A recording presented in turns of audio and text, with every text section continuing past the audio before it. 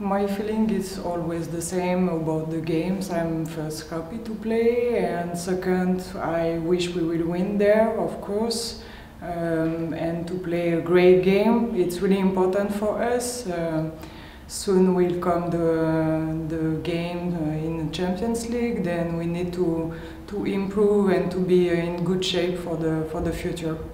It's a young team, but they make a, a really great uh, game. Uh, I know they beat uh, Siófok, and uh, I think we should be really uh, focus on us to play a really uh, good game, and then uh, we will see how the game will go.